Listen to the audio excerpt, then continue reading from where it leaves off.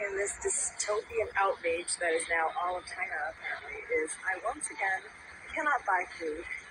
A couple days ago, my uncle and my cousin helped me get a cell phone that is linked to a Chinese bank card so that I could buy anything.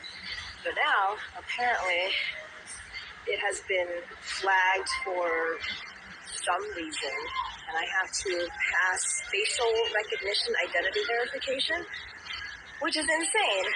Because all I want to do is just spend my gift card balance on this debit card.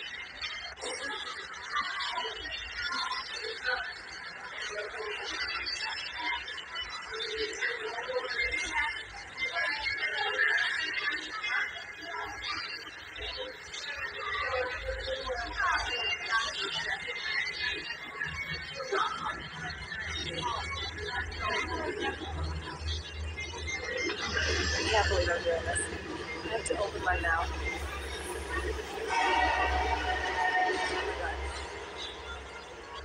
Terrifying.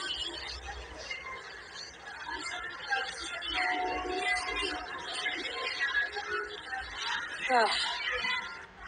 Of course, because it was my cousin who set this up for me, I did not pass verification. I guess it's a good thing that the Chinese app is not racist. But now I once again can't buy anything.